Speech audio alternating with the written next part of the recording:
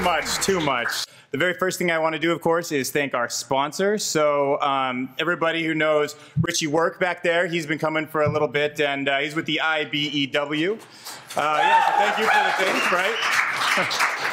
okay, so let me get a quick rundown.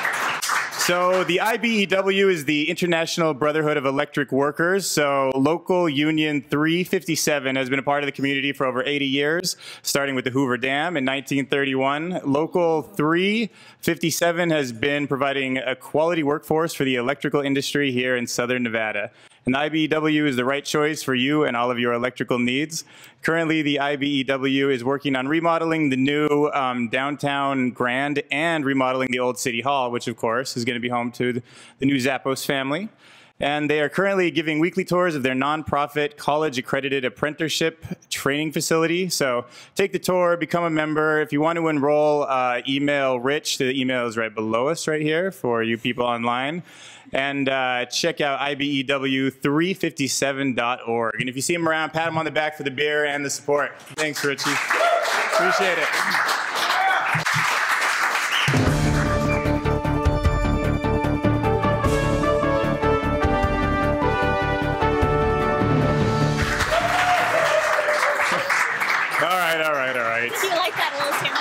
This is thick, Yeah, thick, as, thick as honey is me now, so okay.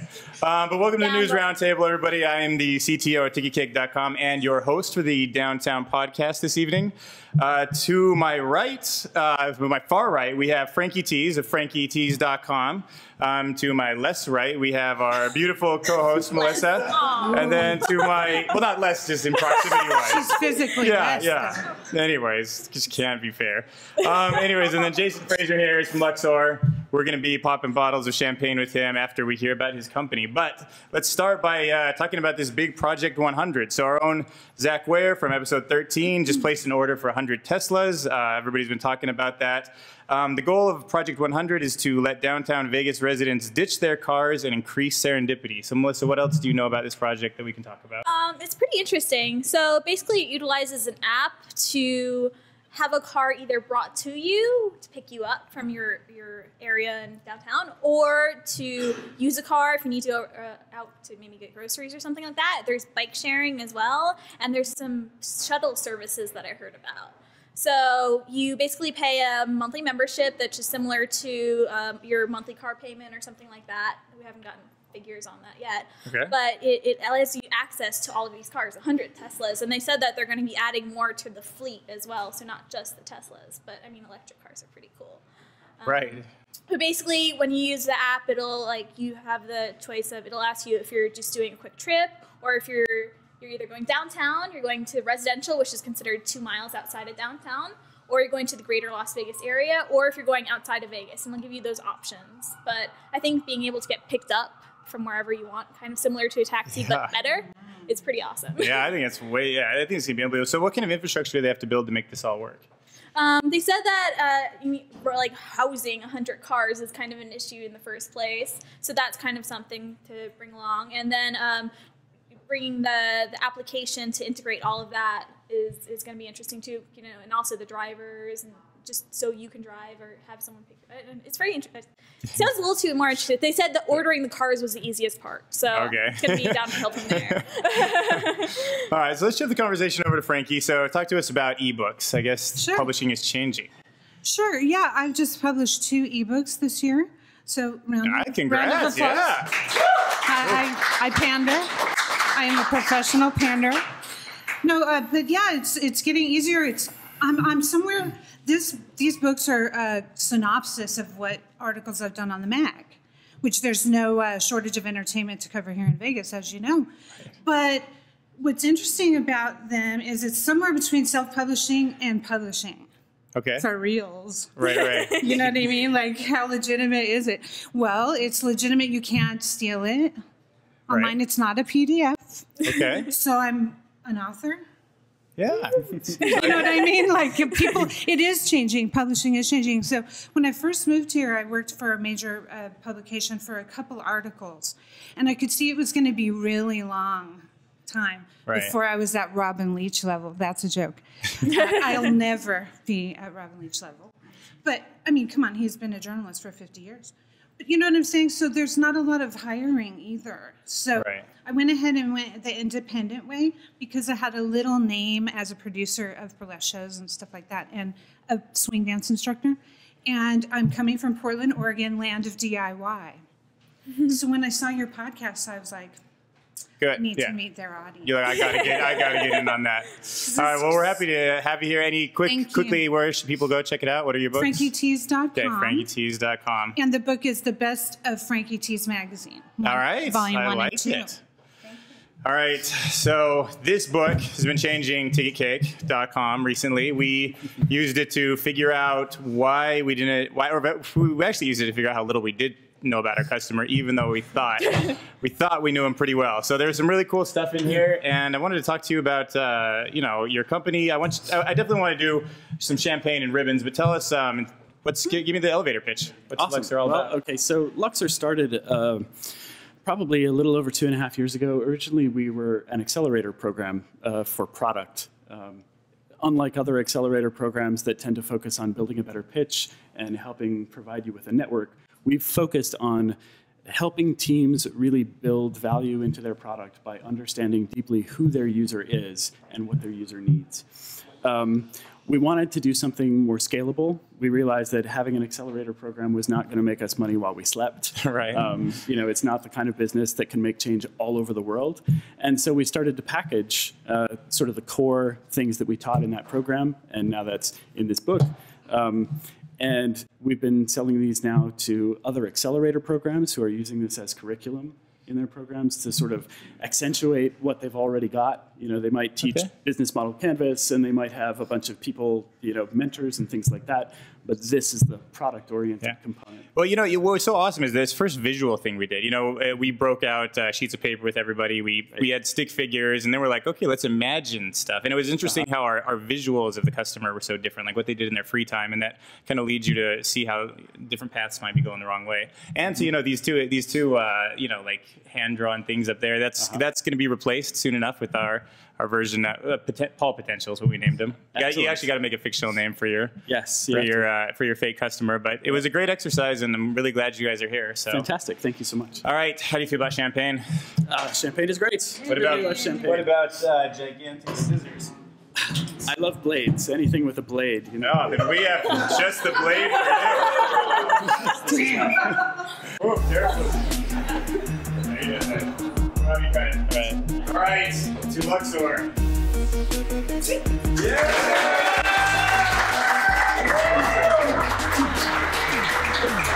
Gina, you want to pop this? Yeah, no, that's that's the, that's the best part. All right. Yeah!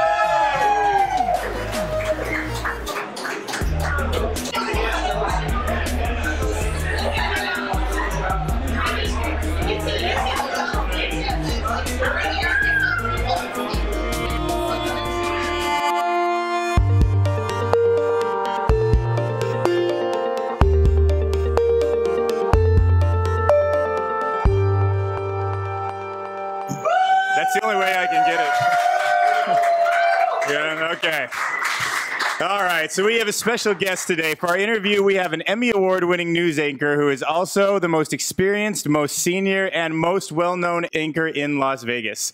Self described as a huge tech fan, which has been confirmed by Mike Cao. He said he looked at your office and you do have every tablet and every version of every tablet sitting on it, so I like that. And uh, today, so uh, you guys might recognize him from 8 News Now. He's one of the main anchors there, and um, he's done some of the tech stories that cover downtown Las Vegas. So please put your hands together for David Courvoisier.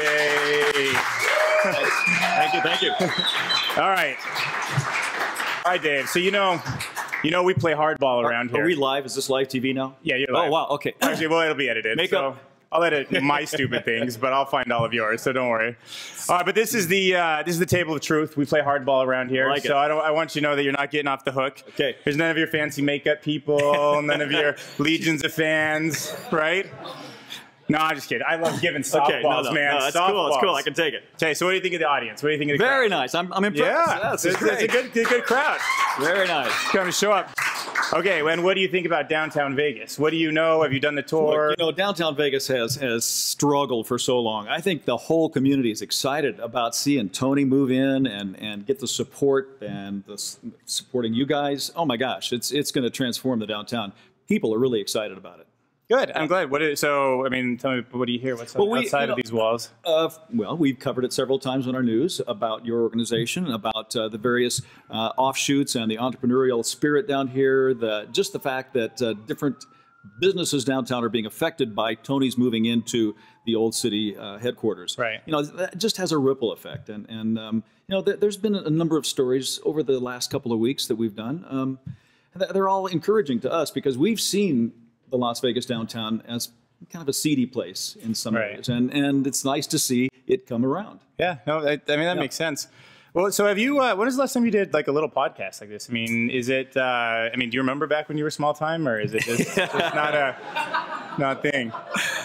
You know, uh, I haven't done a lot of podcasts, uh, nor do I often get to see a live audience. I'm, you know, looking at a camera most of the time. Yeah. So, uh, although I do a lot of live events as an MC or an, or an event producer, um, it's it's neat to have people right here in the room staring at me Yeah. with two eyes. And and you do a lot of voice because I, you know what I really liked about our pre-interview was that uh, you have a little bit of entrepreneur spirit. Um, you definitely Right. have had your own kind of brand. So tell us about what you're doing as an entrepreneur and what you've learned when it Well, comes that's to your voice. Well that's what this logo is. I, I go by Corvo in the voiceover universe, and I, I started doing uh, voiceovers about seven or eight years ago because I saw a retirement heading my way in the next five, ten years, and I wanted something I could transition from broadcasting into something that I could do anywhere. Um, in my bedroom, in my pajamas, Right. and it would be, uh, you know, not a lot of money, but enough to keep me going. And and it's been just great because broadcasting is such a, uh, a kind of a dog eat dog competitive world. Voiceovers, it turns out, is a very supportive, encouraging community, and uh, just really loving the people and the relationships I'm, I'm finding there. Okay, so so basically this is just you, right? I mean, Yeah, Bill, go that's here. Are you building like an ecosystem or anything No, for it? it's or- pretty much just me. Okay, okay, that's fine. Yeah, I mean, I I've wasn't sure really. And Yeah. I've chosen to, to do most of my marketing, all of my marketing, on social media. Oh, good. You know, I, I was an early adopter. I, I signed on to Twitter in 07 and, and uh, really, you know, tried Yeah. to, uh, LinkedIn, I added all those as they come along, and it's working for me. It's really turning some jobs. Yeah, and so, what are some of the lessons you learned along the way that might help other entrepreneurs, Oh, gosh. Uh, especially pay- people working on their personal brand, maybe too? See, I. I blog five days a week for the voiceover community, and, and I found that paying it forward really reaps its own dividends. Um, just offering free information, experience, links, anytime I can, and it comes back to you manyfold over the years. Okay, and the give first mentality. I like that. That makes a lot. That's a, a lot of things around here run too. Yeah. Um, okay, so let's get into your gadgets. So, I mean, you got the you got the Microsoft Surface here. Microsoft what uh, like throughout time? Like, what were some of your favorite? Do you have like a Newton or anything back in the day, Oh, or like uh, you have a bunch of cool gadgets you can Yeah, reminisce does about? Anybody or- remember um, Magic, uh, General Magic? Remember that? Anybody remember General Magic? Mm, Anyone? That, who- yeah. Hey, what- how about that? What is it? What is it? Well, it was one of the. Right, and they, they formed their own business, and they came out with really one of the first, um, uh, you know, like a Newton. and you still have it? Uh, oh yeah, it's Oh, about that thick, Gold, and you know it's about that big. But it was one of the first one of the first ones to come out, and then of course you know a, a pilot, and I, I've, I've all used those all along, and Okay. yeah, all that stuff. Well, what's your fancy now? What app and tablet is? Uh, Well, I, I have an of your time? iPad, I have an Android tablet, a Motorola Xoom, I Okay. have a um, Nexus 7 uh, Google, and I've got the uh, the RT Okay. Surface. You brought the Surface with you as your favorite, or Um, I'm, newest? I'm or- really trying to discover all I can do, and I'm pretty impressed. Yeah, it seems like it actually seems like a really cool product. I haven't Yeah. played with one very much, but um, you know, I use I use tablets all the time, and I didn't think I would actually. At first, I was like, ah, MacBooks, Right. that'd be fine, you know. So I'm just waiting to see what happens with uh, with Microsoft and with uh, Apple and with Android. Now, uh, Facebook came out with their phone today, um, and I'm waiting to see what happens this year. I'm so invested in the in the iPhone and all its apps, and, and yeah, uh, that I'm don't really want to leave that, but I keep seeing Sam, Samsung come on pretty strong. So yeah, no, that's pretty cool. see what happens. All right, so what all those other suits that are hanging out in the newsrooms? do they do they realize that it's going to be a lot of transition period? Oh, do you gosh. think um, News Eight is going to be on top of that, or like what are you guys doing We're to try really to trying. stay? Our, in the audience is our uh, director of digital media, Chris Way, right here with the iPhone. Yeah. Chris is a genius, and he's kind of dragged us kicking and screaming into the 21st century, and we have to. There's just no way. I mean, uh, the generation that's coming up doesn't wait till 5, 6, or 11 Right. to watch the news. They get it on their smartphone and their tablets, or both at the Yeah. same time, or while they're watching the news, all three. Um, So, you know, we really have to. We have a trusted brand, we have, a, we have good loyalty, and we have good content. And how do you translate that into the new world and monetize it? That is the challenge. Yeah, yeah. Have you? So have you guys? Um, I, I heard Mike Cao was saying maybe that you're starting to look at maybe using Wedgies or any of the other downtown companies. Like, would you have any loyalty to the companies down here, if it made sense? Love to. I, mean, I, I haven't been aware, haven't sat down with Mike long enough to, to hear about that. But, Okay. but uh, I'll, I'll, say one thing to this audience, and that is that I'm trying to get our boss, and I've, I've finally got him agreed to do this, to do Google Hangouts during our all important May sweeps period. So we have investigative stories, and we're going to build off of those at the end of the newscast. We're going to invite people to a Google Hangout uh, after the news and, and carry that into the newsroom Yeah. and bring in experts. And we'd invite you all to join us. My boss has a hard time with Google Hangouts because whenever we do them, uh, we end up with people from Belgium and Australia and Boston, and he wants local Google people. He wants Yeah. people from, from this community to come forward and join us. So I ask you to join us, and, and I'll try to pass that word out through this community as to when you can Okay. help us because we really want local people to join us. Yeah, and afterwards you can send me any info you have. Yeah. We'll put it up here on the thing. So Good. high five, man. Good All right, buddy. job on that. like it. Okay, so um, obviously you guys are working hard, but does it make you worried at all about uh, how fast people are getting info? Because this is kind of this common theme, well- and I'd be curious about if you're worried about the quality. it brings up yeah it brings up the whole idea of what journalism really is and, and it's one of the few professions that doesn't have any accrediting or certification Right. like a right. bar or a, you know nurses welders it's- and it's true. I teachers they all have yeah. you know an accreditation or, or certifying uh, point and and journalists don't i mean any blogger can call themselves a journalist and who's going to call them on it i mean some of them are really good and probably would qualify as journalists Yeah. but others I call uh, myself a news anchor. yeah, you there know? you Like, go. well, I don't know. It's just that easy now, you know. and, uh, and by the same token, I've never had a journalism class in my whole life, you know. So, Right. so uh, I, I kind of propped myself up. I started on radio and, then worked my way up. So, you know, anybody can call themselves a journalist, but but it does matter. It does matter Right. that you that you confirm your facts and that you vet your your interviews and, and that you write it well. And because good content is still appreciated. Yeah. And that's what the legacy news media outlets are, are still doing. They just don't know how to put it into the digital universe. Right, and I definitely see that too. I think that there's going to be that time where we all get the information first, and then we realize how mm-hmm. poor it is, and slowly start to trust. Right. a more trusted brand, which Well, is a good place for 8 News Now to. Like You like know, the like the landing of that plane in the middle of the river in New York City. I mean, the first guy there with a picture was you know with a guy with an iPhone. But uh, you know, I think TV news still does some things better than anybody else, and one of those things is live coverage of happening events Right, that are developing as, as you go.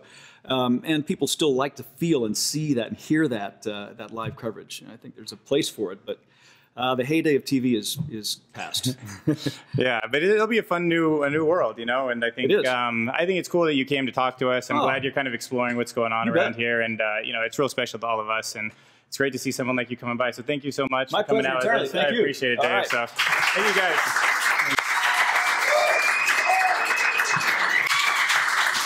All right.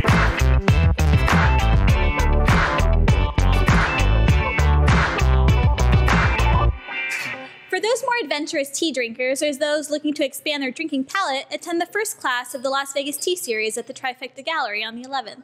Join them as they explore pu-erh teas from what they are exactly to how they are processed. The class starts at 6 p.m. and be sure to register on Skillshare.com. That evening, head to Beauty Bar to hear Purity Ring live. This Canadian electro duo will be coming through on their North American tour. They're most well known for their song Lofticries. The show kicks off at 9 p.m. and tickets are available on ticketcake.com. And it's that time again, so join us for this April Streats Festival on the 13th, aka Second Saturday. This ever growing festival kicks off outside the El Cortez, and join us for food, fun, and music starting at 6 p.m. Have an idea to create the next startup phenomenon but don't know where to start? Sign up for the first Start You Up Bootcamp at Work in Progress on April the 20th from 1 to 5 p.m. Whether you're a business person, designer, developer, start your own Start you start up bootcamp will get you from startup idea to startup ready in just four hours. Tickets are limited, and for more details, check out lbchamber.com. Last week, I talked a bit about Robo Day. Here to talk a bit more about that is Allison. All right, Allison, take it away. Hi. Uh, well, Robo Day is a free robotics education expo. We're going to be happening on Saturday, April 13th. We're going to be kicking off at 11 a.m. We're going to have a large interactive area where you can interact and learn about robots. You'll see local efforts such as Pololu Robotics, um, uh, SYN Shop is going to be there, and possibly Remotive. Uh, we're going to be announcing our keynote speaker at 1 p.m., who is an amazing genius from the Jet Propulsion Laboratory. He's going to be giving us a glimpse into the next five years of robotics at NASA. Uh, you can also see the largest robotics manufacturer, KUKA, and we're also going to be uh, showcasing some of the education efforts that are going on. Uh, our research, our research has shown that um, cities who embrace robotics have increased um, their graduation rate, as well as encouraging students to pursue higher education um, careers.